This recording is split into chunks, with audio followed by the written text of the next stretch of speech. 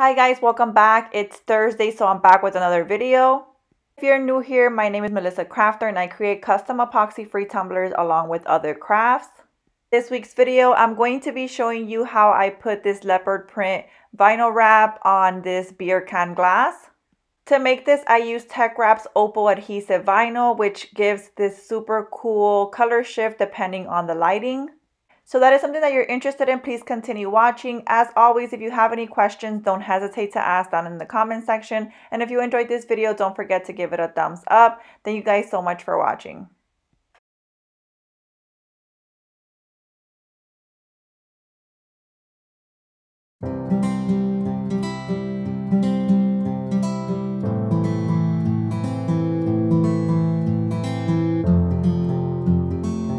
So jumping right in, I'm here on Cricut Design Space on a blank canvas and I am going to head over to Etsy and I did purchase this file here. It is a 16 ounce beer can or Libbey glass can wrap. It is already pre-sized to fit the 16 ounce glass. The shop name is Billy L. Co. and that's the name there of the file. It was $2.17 and I bought it and I downloaded it to my computer. Back to Cricut Design Space, I'm going to hit upload and upload my file. This file comes in SVG and PNG, but I'm going to be using the SVG cut file.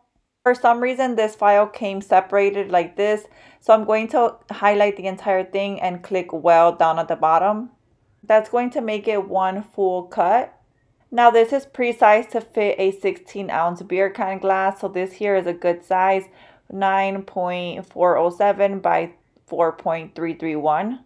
So now I'm going to go ahead and click make it and send it off to my Cricut.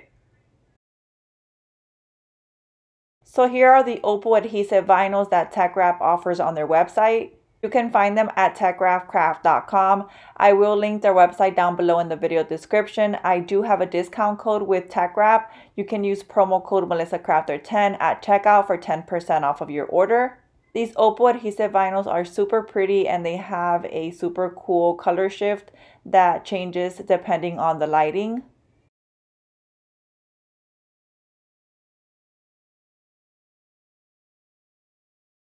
So here's the one that I'm going to be using for this cup. This one here is the Opal White. All Teck Wrap vinyl comes with this clear protective sheet on it that protects it from getting scratched before you use it.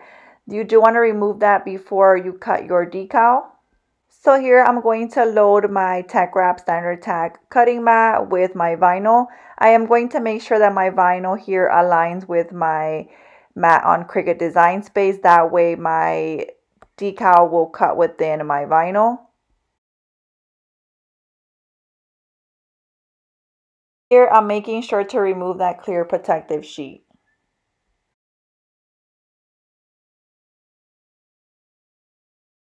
So here is my Cricut Explore Air 2 cutting out my vinyl decal. You can use Teck Wrap vinyl on any kind of cutting machine. I do have my cut setting on custom and I have it on holographic vinyl with the pressure on the blade on more. So here my cutting machine has cut out my vinyl decal.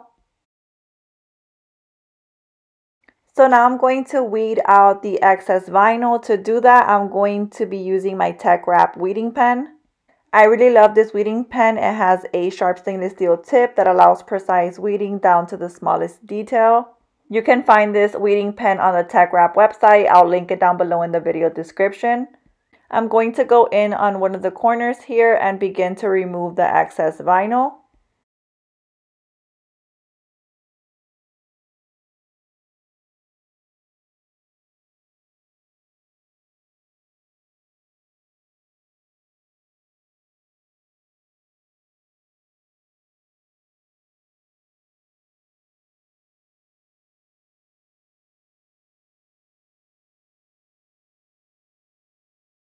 So here is my full wrap ready to be placed onto my cup. So here are the cups that I'm going to be using. These are 16 ounce beer can glass cups or Libbey glass. I did purchase these off Amazon. I'll link them down below in the video description. Teck Wrap also sells these. I'll link those down below as well. I am going to go in with an alcohol prep pad and clean my cup just to make sure that my vinyl decal has a good surface to adhere well to. I am then going to take a piece of transfer tape and I'm going to now add it onto my vinyl decal. I'm going to add a piece of it here and then I'm going to use my Teck Wrap squeegee and squeegee on the rest of my transfer tape onto my vinyl decal.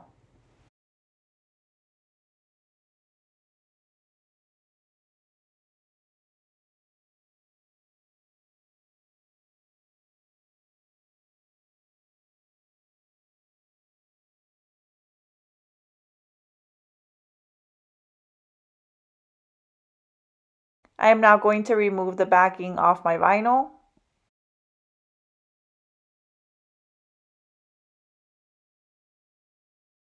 So here is my decal ready to be applied onto my cup. I am going to use a piece of parchment paper and I'm going to put it underneath my decal.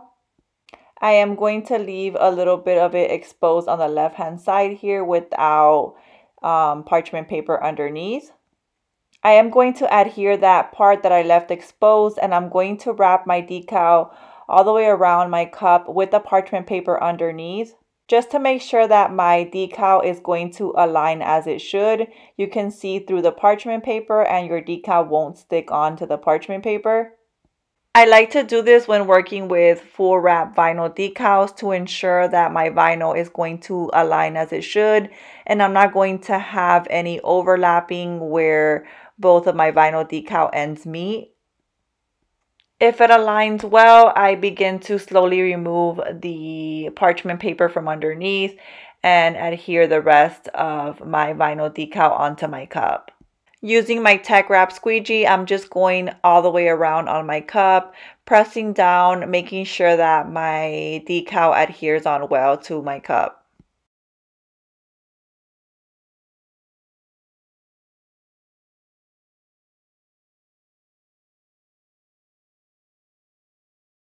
And last, I'm going to remove my transfer tape from my vinyl decal. The transfer tape that I'm using is the Teck Wrap Matte Transfer Tape. I really like it because it removes super smoothly and it doesn't leave any sticky residue behind. So here's how my cup turned out. I did purchase this bamboo lid and glass straw from Amazon. I'll go ahead and link them down below in the video description. I really hope you enjoyed this video. If you did, don't forget to give it a thumbs up. Also, if you aren't subscribed to my channel, please consider subscribing. I do upload a new video every Thursday. Also, follow me on Instagram. My Instagram name is melissacrafter00. I do post on there daily, so make sure you give me a follow. Thank you guys so much for watching.